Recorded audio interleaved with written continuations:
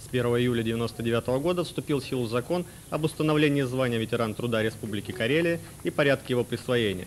С этого же дня Комитетом социальной защиты населения администрации Петрозаводска начался прием документов от граждан, родившихся позднее 1 января 1941 года.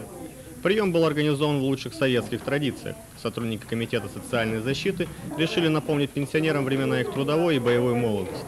Я пришла вот здесь, разведку сделала, да, сначала, а пришла, все, у меня было 7 часов, здесь был уже полный двор. Люди занимались, конечно, часов занимались. может быть, из 20. утра Да. Да. Потому что около 7 часов был целый двор.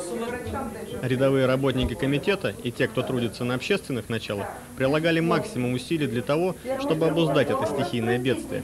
А вот, как видно, руководство не представляло себе, сколько у нас людей имеет трудовой стаж на 10 лет превышающий необходимый для начисления полной пенсии. Тем более никто не предполагал, что пенсионеры захотят сдать документы пораньше, дабы как можно быстрее иметь возможность пользоваться благами, обещанными им по закону.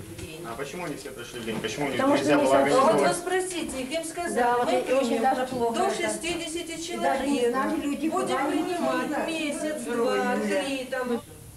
Зато сотрудники комитета хорошо знают свои права. После принятия документов мы имеем право 4 недели обрабатывать документы, и еще 3 недели нам дается на подписание у главы самоуправления.